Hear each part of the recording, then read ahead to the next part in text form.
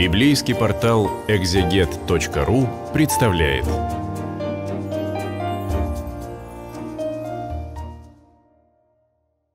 Здравствуйте, братья и сестры, все любящие чтение Слова Божия. Мы продолжаем с вами изучение послания апостола Павла к Коринфянам на библейском интернет-портале exeget.ru. И сегодня мы с вами рассмотрим 12 главу. Не хочу оставить вас, братья, в неведении о дарах духовных. Знайте, что когда вы были язычниками, то ходили к безгласным идолам так, как бы вели вас. Потому сказываю вам, что никто, говорящий Духом Божиим, не произносит анафеме на Иисуса, и никто не может называть Иисуса Господом, как только Духом Святым. Дары различны, но Дух один и тот же. Так начинает эту главу апостол Павел. Но мы знаем с вами, что деление на главы и стихи — это довольно поздняя э, такая методика прочтения Священного Писания и разделения э, такой методики э, довольно позднее явление, это 17 век. Ранее текст был, он был сплошной, поэтому здесь с этих строк апостол Павел 12, 13, 14 главы начинает говорить о дарах духовных. Он так и начинает. «Не хочу оставить вас, братья, в неведении о дарах духовных» и предупреждает, что Христа возможно воспринять только в присущем ему свете, то есть в Духе Святом. Поэтому он говорит, сказываю вам, что никто, говорящий Духом Божьим, не произносит анафемы на Иисуса, то есть проклятие. Никто не может называть Иисуса как только Духом Святым. То есть Иисуса можно воспринимать, Иисуса Христа, только в церкви, в ее предании. Предание есть Дух Святой, живущий в церкви в день Пятидесятницы. И поэтому всякий человек, который говорит, что он христианин, но он вне церкви, это так называемое христианство без Христа. То есть христианство только по названию или, можно сказать таким философским языком, христианство само себя идентифицирующее. Далее апостол поднимает здесь очень важную тему, которая будет, как я уже сказал, эта тема, она э, будет на протяжении трех глав, 13, 12, 13, 14. Апостол говорит о дарах духовных, и сразу хочется сделать такое небольшое предисловие. Э, дело в том, что мы помним, что апостол Павел с э, полтора года проповедовал в Каринской церкви, там жил, эта община создана им – Э, мы также помним, в самом начале я об этом говорил, что город Каринф — это богатый город, который находится на перешейке протяженностью 6,5 километров и между Эгейским и Ионическими морями. Город достаточно богатый, город большой миграции и город, где большая миграция, большой поток людей, где люди плохо знают друг друга, как всегда, и город, в общем-то, и разврата. Было поклонение там и идолам, о чем апостол здесь э, предупреждает христиан, уже пришедших и покаявшихся, и людей, пришедших и покаявшихся, ставшими христиан, э, которые стали христианами, э, предупреждает о том и говорит о том, что раньше вас водили к безластным идолам, а теперь не так. И что здесь очень важно сразу заметить, что снова повторю, 12, 13, 14 главы, здесь апостол Павел старается очень аккуратно, так как он создал эту общину в Коринфе, а все, что мы создали, или все, что нам досталось трудом, это всегда для нас дорого. Поэтому для апостола Павла эта община, она дорога, а, создана именно им. И э, он э, в этой общине в Коринфе начал, э, произошел такой феномен — в результате чего они, коринфяне начали ложно понимать дары Святого Духа. И, в частности, один из, такой, из таких даров, как говорение на иных языках.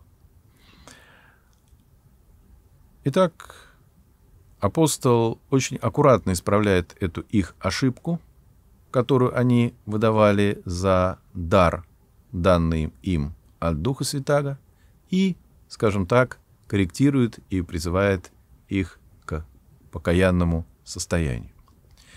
Все это произошло как результат, я уже сказал, богатый город, да, как результат такого пришедших уже, вроде бы и крестившихся, но еще находившихся в некой мере в неофитском состоянии членов христианской каримской общины.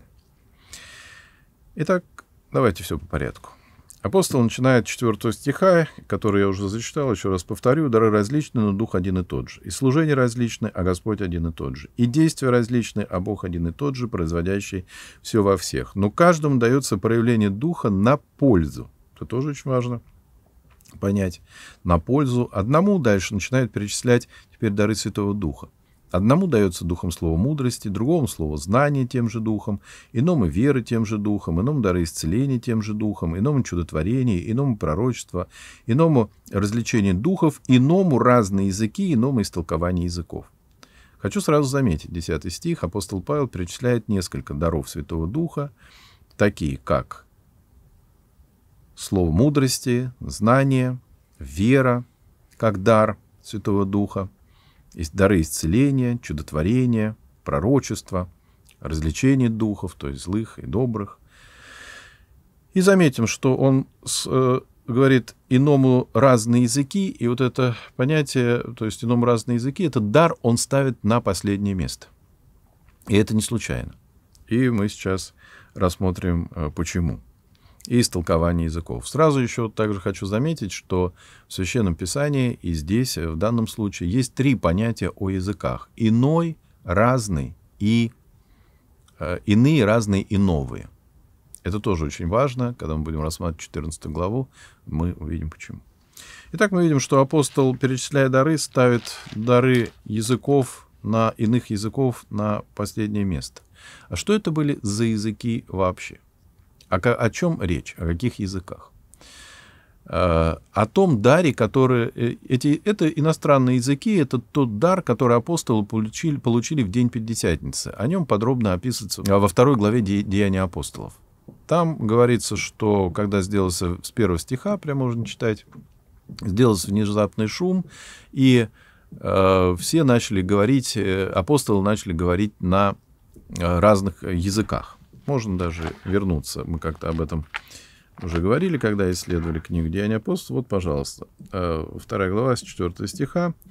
«Исполнились все Святого Духа и начали говорить на иных языках, как Дух давал им провещевать. В Иерусалиме же находились люди набожные, из всякого народа, под небесами. Когда сделался этот шум, собрался народ, пришел смятение, ибо каждый слышал их, апостолов, говорящих его наречием. И все изумились и дивились, говоря между собою, Сии, говорящие, не все ли галилеяне? Как же мы слышим каждую собственную речь, в котором родились? Парфяне, медяне, еламиты, жители Месопотамии, Иудеи, Каппадоки, Понта, Асии, Фригии, Египта, Ливии, прилежащих Кирине, Иудеи, Прозелите, Критяне, Арвитяне, слышим их нашими языками, говорящих о великих делах Божьих. То есть мы видим, что люди другой национальности э, понимали, о чем говорили апостолы, им были дан, дан от Бога дар говорения на иностранных языках. Зачем? Для того, чтобы исполнить заповедь. Какую? Которую дал Христос по своем вознесении. «Идите, научите все народы, крестя их во имя Отца и Сына Святаго, Духа, уча их соблюдать все, что я заповедал вам». Эту же заповедь он дал своим ученикам и говорил, Здесь же в первой главе Деяния апостолов, в 8 стихе, что вы примете силу, когда сойдет на вас Дух Святый, и будете мне свидетелями в Иерусалиме и даже до края земли. Вот этот дар, дар иностранных языков. Но Каринская церковь, подобно сегодня современным неопятидесятникам и харизматам, стали искажать это понимание. Сегодняшние современные последователи харизматических различных пятидесятнических и неопятидесятнических движений, они говорят о том, что эти языки были тогда не иностранные, а что это были языки якобы какие-то особенные, и которые никто никогда не знал, и для того, чтобы чтобы быть крещенным Святым Духом, необходимо говорить, ну вот если кто-то видел эти сюжеты, э, какими языками они там говорят, то есть падают на пол, бьются в конвульсиях, и из них э, изрыгают такие нечленораздельные звуки. И этим самым как бы харизматы, неопятидесятники говорят о том, что вот они якобы получили какой-то особый дар говорения тайными языками, который никто другие не знают, ну, есть у них там и истолкователи, но главная доктрина всех этих харизматических движений, что надо именно впасть вот в такое вот состояние транса, то есть биться в каких конвульсиях, изрыгать из себя нечленораздельные звуки, и тогда будет считаться, что человек крещен Духом Святым. Поэтому иногда, подходя к нашим православным крещенным христианам, они задают, задают такой вопрос, а вы крещены Святым Духом или нет? Ну, некоторые наши невоцерковленные люди теряются и говорят, мы не знаем. Но по, по, надо сказать, что все мы с вами крещены Духом Святым при миропомазании. Поэтому все мы с вами одним миром мазаны. При миропомазании, при крещении человека через миропомазание подается печать дара Дух Святаго. В Каринской церкви была такая же проблема, но она немножко отличалась от той, которая сегодня есть у харизматов и их заблуждений, но тем не менее смысл ее был э, один и тот же. А какой? Гордость и тщеславие. Все по порядку, и мы до этого дойдем, и это будет рассказано, и все будет выяснено. И далее апостол призывает и говорит, что дух разделяет каждому особо, как ему угодно, ибо как тело одно, но имеет многие члены, так и все члены одного тела, хотя их и много, составляют одно тело, так как их, так и Христос. То есть здесь апостол Павел этими словами хочет сказать, чтобы какой дар бы Святого Духа мы не получили, он дается нам на пользу для назидания себя и других, но не просто для получения какого-то эффекта такого эмоционального, о котором говорят современные харизматы, и что нечто подобное было и в Каринской церкви. Ибо все мы одним духом крестились в одно тело, иудеи, елены, рабы и свободные, и все наполнены одним духом. Тело же не из одного члена, но из многих. То есть тело — это не один дар, который надо возвышать, как возвышали в Каринской церкви говорение на иностранных языках, и как э, возвышают сегодня харизматы говорение вообще на каких-то непонятных совершенно языках. Кстати, подобные языки, э, подобные нечленораздельным звуки также вырываются и у шаманов, когда они начинают свое камлание, то они тоже начинают что-то произносить, реветь, там несколько какие-то речитативы, трясти головой. Вот если сравнить две картинки, посмотреть, как шаман ведет себя при камлании, и харизматы, которые получают якобы дар Святого Духа, сравнить их поведение, то очень много схожести. И далее апостол продолжает, он их просто старается убедить. Он говорит, если нога скажет, я не принадлежу телу, потому что я не рука, то неужели она потому не принадлежит к телу? И если ухо скажет, я не принадлежу к телу, потому что я не глаз, неужели оно потому и не принадлежит к телу? То есть он приводит такие примеры, что показывая, что это абсурдно, возвышать, возвышать какой-то один дар, которым человеком, человек обладает, а другие дары уничижать. То есть, э, как бы говорит, что все очень важно в церкви. И дар веры, и дар мудрости, и дар рассудительности, и дар говорения на иностранных языках, он тоже важен, если он используется для главной цели совершения заповеди «Спасителя, идите, научите все народы». Но Бог расположил члены каждый в своем составе, как ему было угодно, а если были все один член, то где было бы тело? Но теперь членов много, а тело одно. Не может глаз сказать руке «ты мне не, не надобно», или также голова ногам «вы мне не нужны». Напротив, члены тела, которые кажутся слабейшими, гораздо нужнее, и которые вам кажутся менее благородными в теле, а тех более прилагаем попечение. И неблагообразные наши более благородные говидно покрываются, и благообразно наш не имеют в том нужды. Но Бог, Бог соразмерил тело, внушив а менее совершенно больше попечения, дабы не было разделений в теле. То есть он здесь проводит человеческую физиологию с телом Христовым, и, в принципе, для того, чтобы вразумить коринфян, не возвышать какие-то дары, тем более ложные, и выдавая их за дары Святого Духа дабы не было разделения, пишет апостол в теле, а все члены одинаково заботились друг о друге. Посему страдает ли один, страдает с ним и все, славится ли один, с, с ним радуются все. И вы, тело Христова, опорзень члены. И иных Бог поставил в церкви, во-первых, апостолами, во-вторых, пророками, в-третьих, учителями, Далее иным дал силы чудодейственные, также дары исцеления, вспоможения, управления, разные языки. Заметьте, я вам сказал, что в Священном Писании есть, мы уже встретились с вами иные языки, теперь встретились разные языки. Еще увидим э, в Евангелии от Марка, в 16 главе, есть э, такое понятие, как новые языки.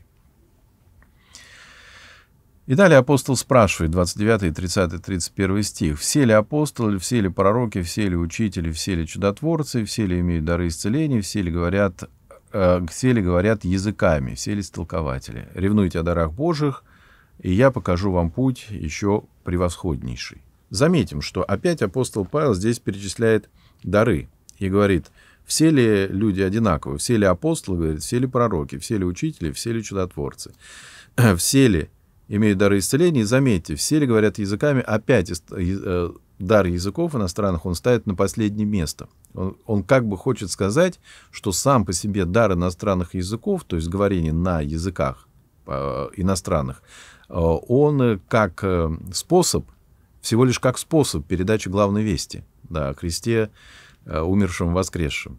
Э, глав... Э, только лишь как способ, но не как самоцель.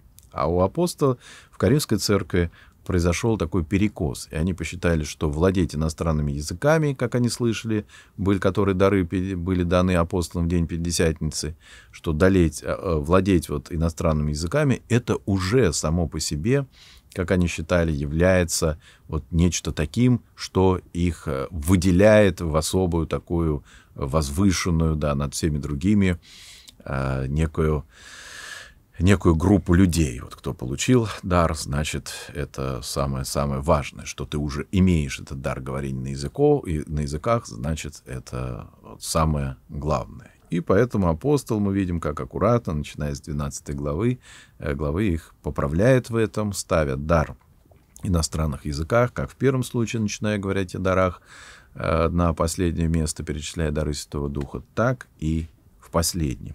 Как будут дальше развиваться события, наставления апостола Павла вот в той ошибке и в том искушении, в которое впала Каримская община, мы с вами рассмотрим в 13 и 14 главах.